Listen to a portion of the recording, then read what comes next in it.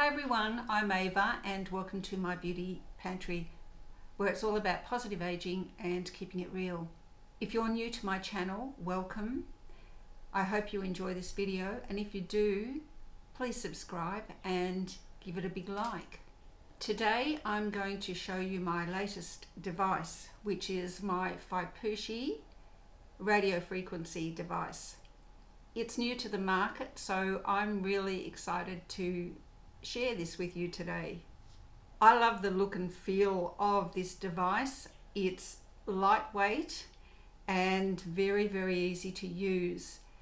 It does charge with a USB cord so it's not powered which I really like because I can do it anywhere. I'm not you know confined to having a device that's near a power point and it's great for traveling it's compact and it just you know doesn't take up any room so it's perfect for traveling also what I like about this device is because it is so lightweight it's ideal for people with um, arthritic hands or just you know generally sore hands. That's a great feature of this as well. Uh, this device has three levels of intensity uh, so I suggest when you start out with a, a radio frequency device, if you haven't used one before, it's best to start at the lowest level, see how you go and work your way up from there. Radio frequency is great for skin tightening and rejuvenation. Feipushi RF uses bipolar frequency. So what this means is it uses waves of alternating currents that produce heat and it's the heat that penetrates deep into the dermis, causing thermal damage, which in turn stimulates the production of uh, collagen and elastin, as well as encouraging blood flow. It also has a red LED light, uh, which is great for cell renewal. So that's another little feature that I do like about this device. Radio frequency can be used on all skin tones because it's working the layers deep beneath the skin surface, not the actual uh, skin surface itself. Now that was just a snippet of how radio frequency works and if you'd like to know more about radio frequency I highly recommend you check out my favorite RF guru TJ from TJ Tutorials. Now I've put a link uh, in the description box to his YouTube channel. And uh, he has he has done a, a video recently of the Feipushi RF using um, thermal imaging so he can detect if this device is actually reaching the temperature that it needs to to work. And it does which is great. Check his video. It's really interesting and very, very impressive. Always make sure that you do your treatments on clean skin. So remove your makeup with an oil-free cleanser. Don't use any products that do contain oil because they inhibit the uh, the conductivity. So always make sure that it's not oil based. I'll just show you a little little bit about this Feipushi. So it comes with a cap that you pull off and it has its prongs here. There's four prongs and these need to be in contact with the skin at all times while you're using it. When you turn it on, there's a little button here, you just turn it on like that and a red light comes on and also you see the red LED light in the center there so that's level one and then you just press it again level two and level three and off you go. It does turn off after seven minutes and if you haven't finished an area you just turn it back on again. So I'll just turn it off. I'm just going to apply some aloe gel but before I do that if you've watched my previous um, video on my mic on the Feipushi microcurrent device you'll see that I use two because it cuts the time in half. And because these are so affordable, I've got two. So I'll be using my two Feipushi RFs today. I'll just apply some gel. You, you may have to reapply uh, because gel does tend to dry out. Now you can use an ultrasound gel as long as it's a conductive gel. I like to use my aloe gel that I make myself.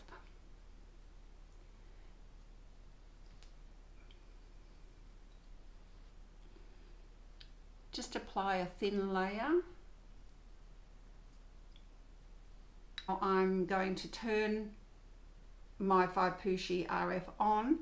Also, before I do that, I just need to point out that when you turn it on and you're working an area, place your thumb somewhere different because what I've done in the past is I've held my thumb on the actual on off button and I'm working away thinking, mm, I don't think it's working. And that's because I've turned it off without realizing. So just move your thumb away from the on off button.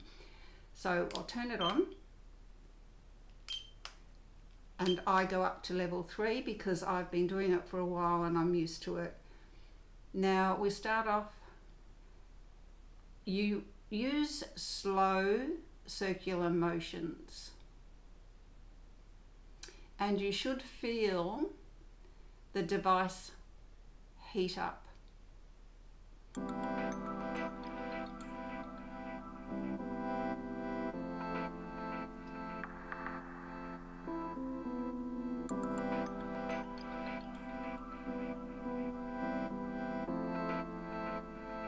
And just keep moving it slowly in circular motions.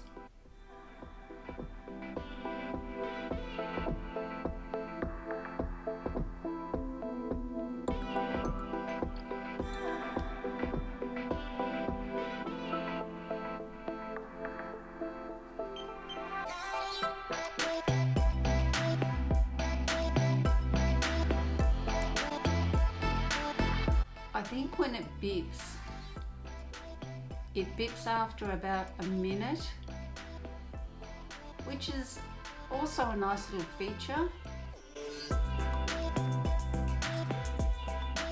You might notice that your skin turns a little bit pink and that's perfectly normal.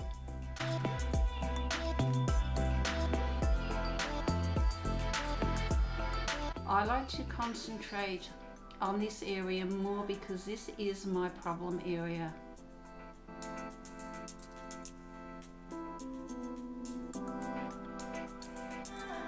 I need to keep reminding myself to slow down my movements because I tend to go too fast. So I'm going to slow it right down.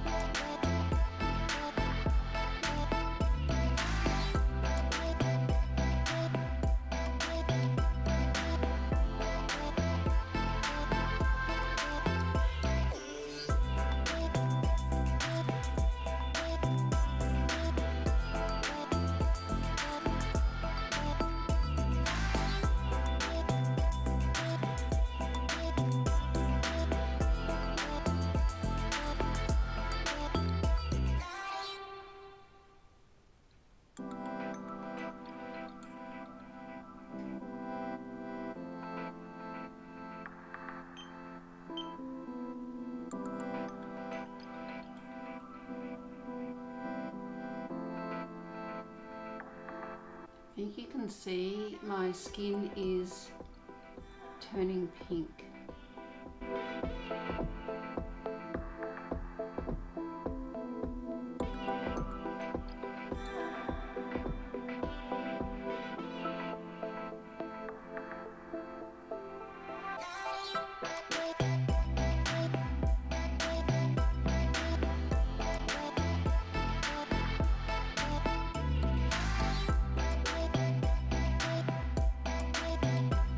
Don't go close to the eye. Stay away from your eyeball.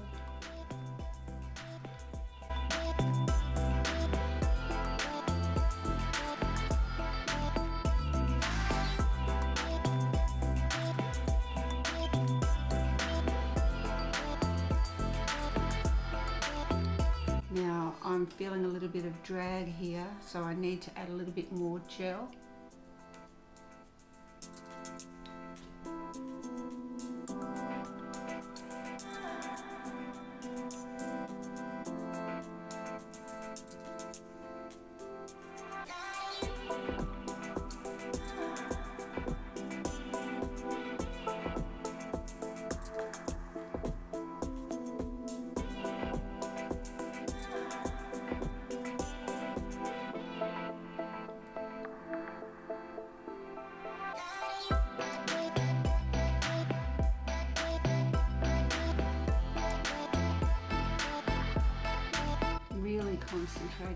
So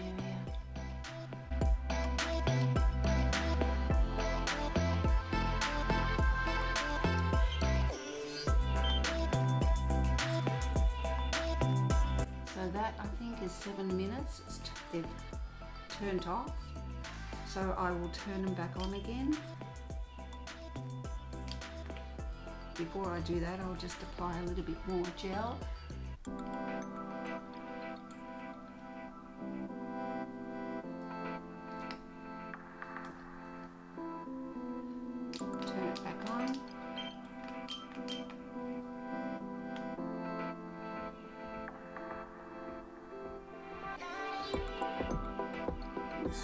Right down.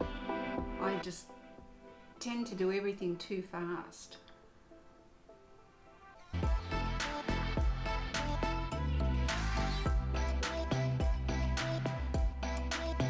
And of course, you know, if you've got an area that is of more concern, you can work that area longer. I, I will go back down to my jail area and work that some more.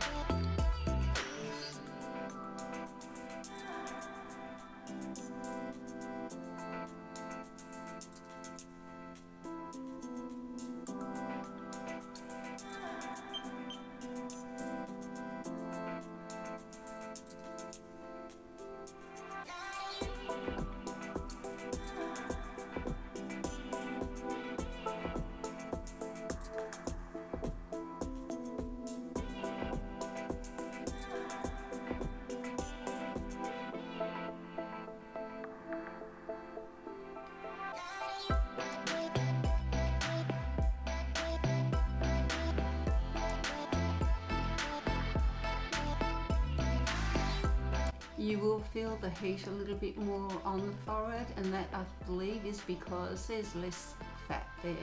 It's closer to the bone.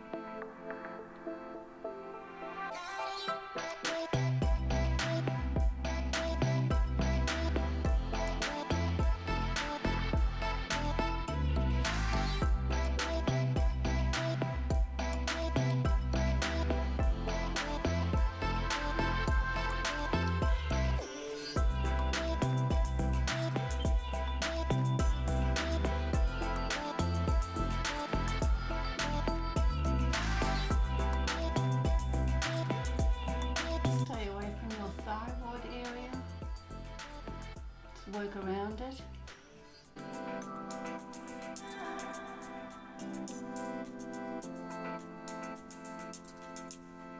So you can use circular motions, you can use your sweeping or gliding motions,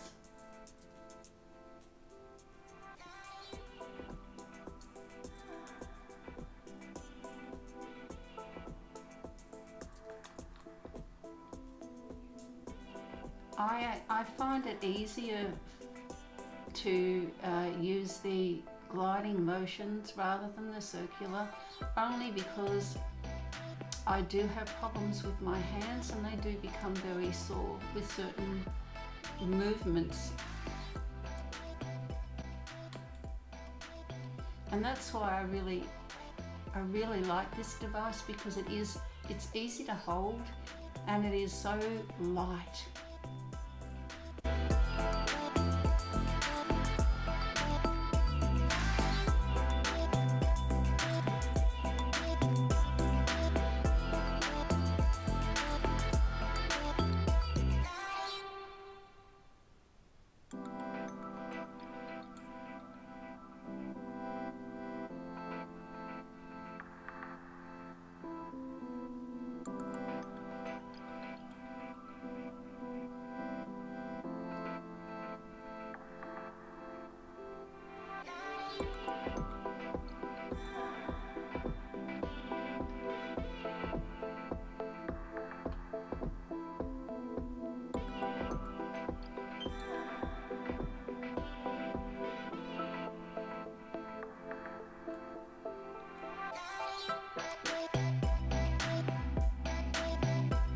and then to finish it off I'll just turn them off.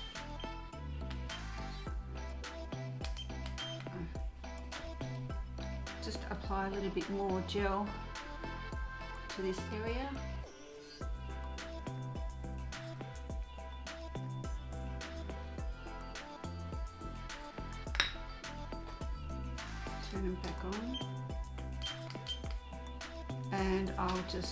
this area a little bit more. Now you don't have to do this. I just like to give this a, a really good workout.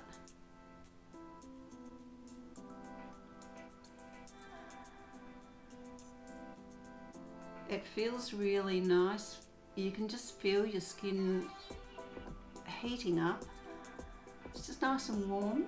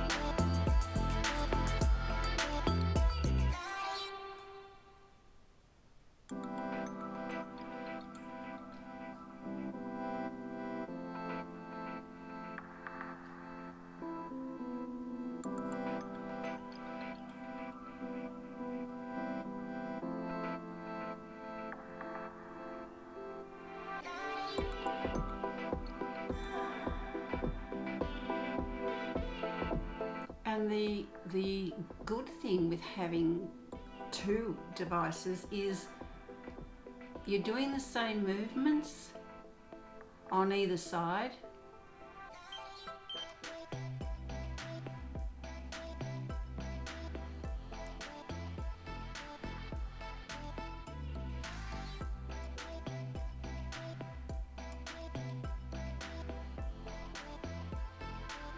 So there's no remembering, you know, how many passes did I do, how many circles did I do. You just do it together.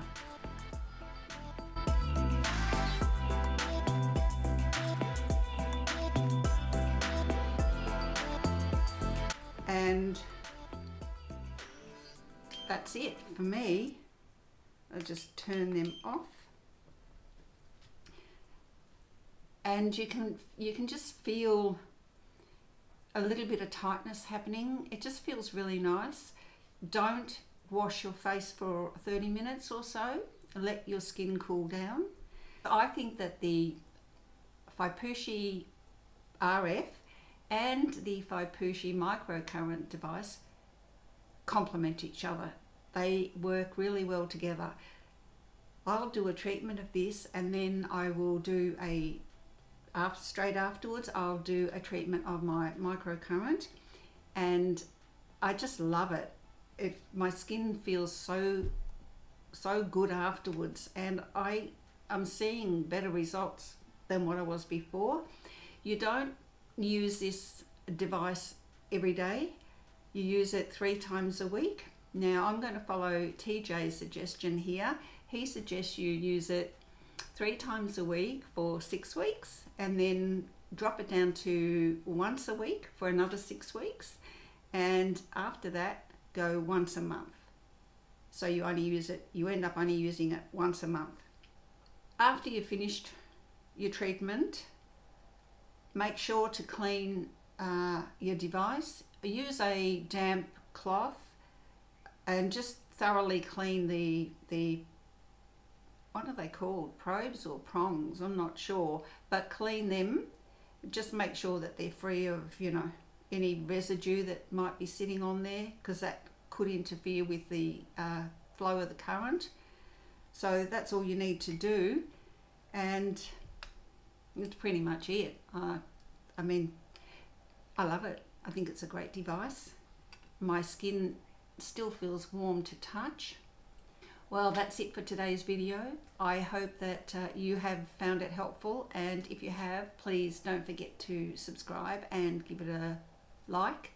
Thank you for watching and have a great day. Take care and I'll see you in my next video. Bye for now.